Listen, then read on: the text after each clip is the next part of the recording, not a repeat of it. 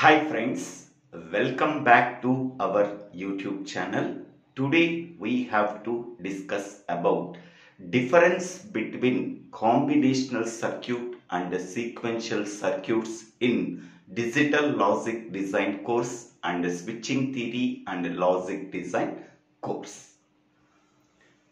Now, the first point is in the case of combinational circuit, the output of a combinational circuit depends entirely on the present inputs only. That means at any instant of time, the output of a combinational circuit depends only on the present inputs. Whereas in the case of sequential circuit, the output of a sequential circuit at any instant of time depends not only on the present inputs but also on the past inputs. Past inputs is nothing but previous outputs. Next, second point. The building blocks for combinational circuits are logic gates. That means, suppose we want to construct any combinational circuit, the basic building blocks is logic gates. By using that logic gates such as AND gate, OR gate and NOT gate, we have to construct any combinational circuit. Whereas in the case of uh, sequential circuits, the basic building blocks for constructing sequential circuits is flip-flops. A flip-flop is a storage element that is used for storing only one bit of information. Next, third point, no feedback path present between input and output. So that means in the case of combinational circuit, so there is no any feedback connection between the output and the input. Whereas in the case of sequential circuit, a feedback path exists between the output and input. So because of that reason, sequential circuits depends not only on the present input but also on the past inputs. That is nothing but previous outputs. Next one. Fourth point. They do not possess any memory element. So in the case of combinational circuits, it does not contain any memory element. Okay. So in the case of combinational circuit, the output depends only on the present inputs. Because of that reason, the combinational uh, circuits does not store any state. Okay, because of that reason, we can say that there is no requirement of any memory element in combinational circuits. Whereas in the case of sequential circuits, so they always possess a memory element. Okay, what is the purpose of memory element in sequential circuits? So, in the case of sequential circuits, memory elements are used for storing the previous outputs of sequential circuits. Next, fifth point, these circuits do not have a clock, thus they do not require any triggering. In the case of combinational circuit, there is no requirement of any clock. So clock is used for driving the uh, circuit. But whereas in the case of combinational circuit, so there is no requirement of any clock. Because of that reason, they do not require any triggering. Whereas in the case of sequential circuits, sequential circuits must and should have a clock. So to drive the flip-flop, a clock is required in sequential circuits. So because of that reason, it usually requires triggering. Whenever a clock is present in the sequential circuits, so we have to use triggering concept. Next, sixth point, they are comparatively easier to design. Okay, so combinational circuits are easier to design. To build the combinational circuits, we have to use simple logic gates such as AND gate, OR gate and NOT gate. By using that gates, we have to simply design the combinational circuits. Whereas in the case of sequential circuits, so the design of sequential circuits are much tougher than the combinational circuits. Here we have to use uh, flip-flops concept. So flip-flops are somewhat difficult to understand for students. So because of that reason we can say that sequential circuits are much tougher than the combinational circuits to design. Okay.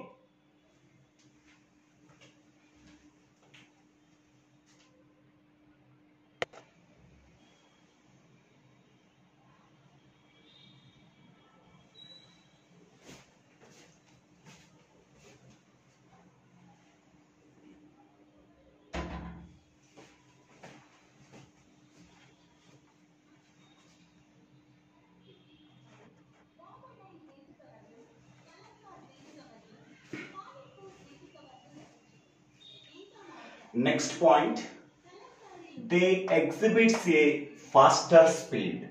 That means in the case of combinational circuits, output depends only on the present inputs so that the operation can be done in combinational circuits very fastly. Hence, we can say that combinational circuits are operated at a faster speed.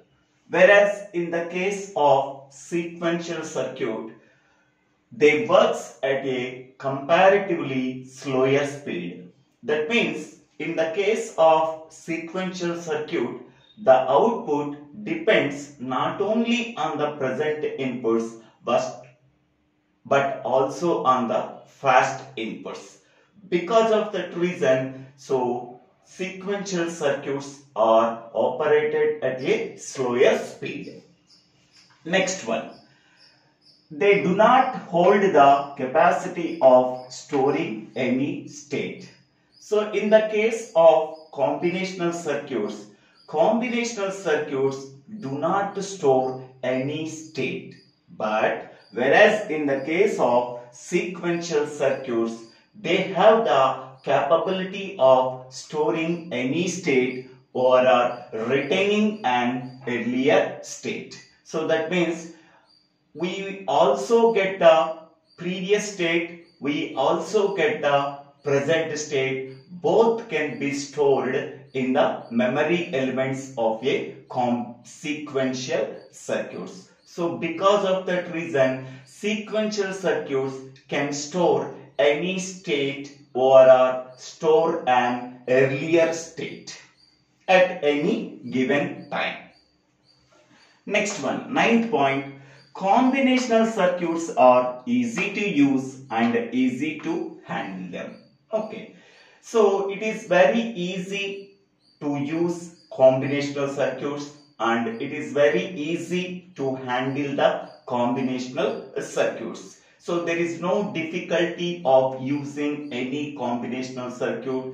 There is no there is no handling of any difficulty for combinational circuits. Whereas in the case of sequential circuits, a user may not be able to handle them and use these circuits easily. So sequential circuits are easy to use but is uh, but difficult to handle the sequential circuits.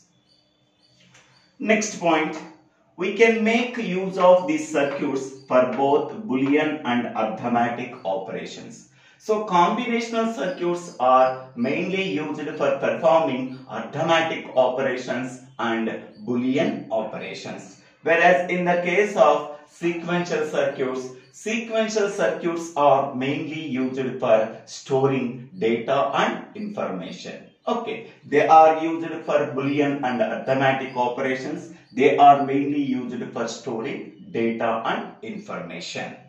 Next one.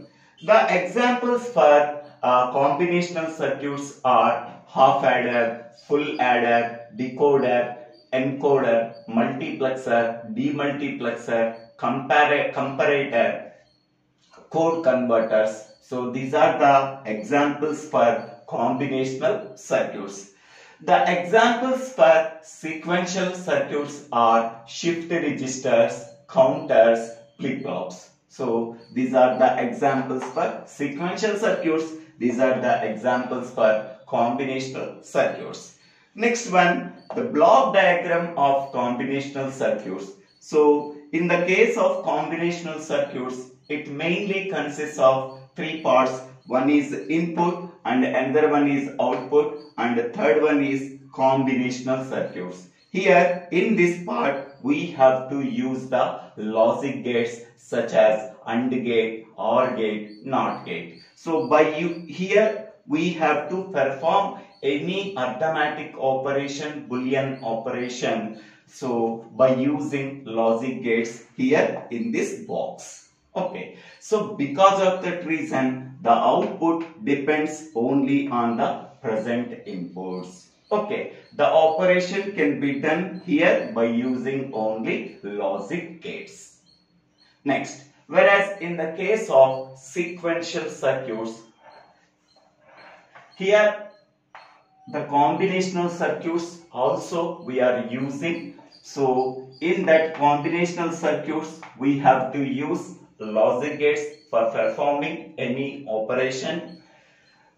Here whatever the output that we are getting that outputs depends not only on the present inputs but also on the previous inputs or previous outputs okay so here there is a feedback connection is there. So the output can acts as input again.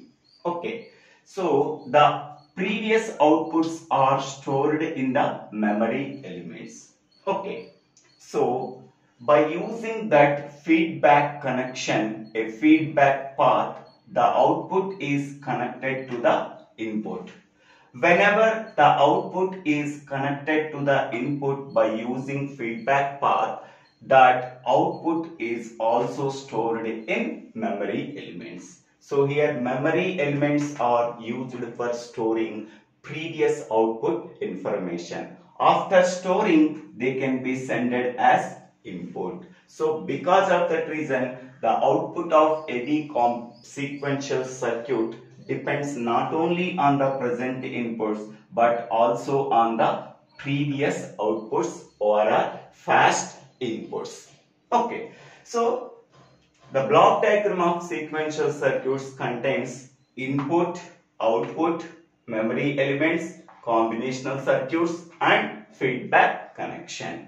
So these are the 12 differences between combinational circuits and uh, sequential circuits. I hope all of you understanding this uh, video. If you have any difficulty, so please free to ask them any doubts in comment section. If you really like this video, please click on the like button and share this video to your friends and classmates. It is one of the most important and commonly asked question in interviews and uh, academic examinations. If you really understanding this video, please subscribe my uh, YouTube channel. So Divvela Srinivasarao. After subscribing my YouTube channel, so click on the bell icon to get the future updates in my YouTube channel. So, Divvela Srinivasa Rao. Thank you. Thank you one and all for watching this video.